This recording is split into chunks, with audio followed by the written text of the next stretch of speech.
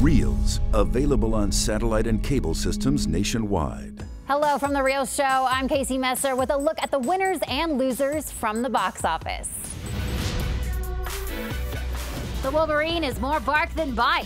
Sure, Hugh Jackman's superhero flick topped the box office, but its $55 million haul was 30 million less than X-Men Origins Wolverine's opening take in 2009.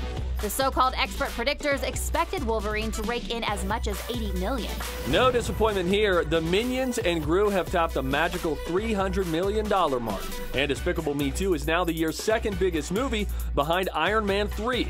Turbo, on the other hand, has been given a caution flag by audiences. It's earned about 60 million, far below its 135 million dollar budget. Speaking of box office success or lack thereof, RIPD continued to live up to its name by resting in peace at the box office.